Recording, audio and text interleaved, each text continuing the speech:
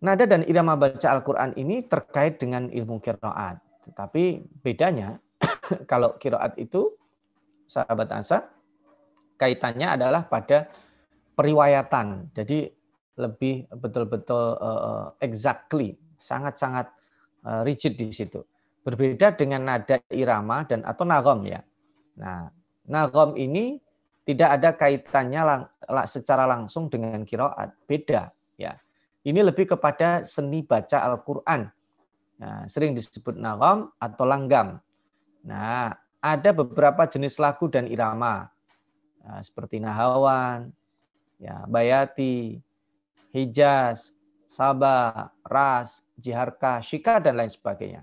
Nah, semua ini adalah lagu dan irama. Seni uh, baca Al-Qur'an atau seni tartil Al-Qur'an, bacaan indah.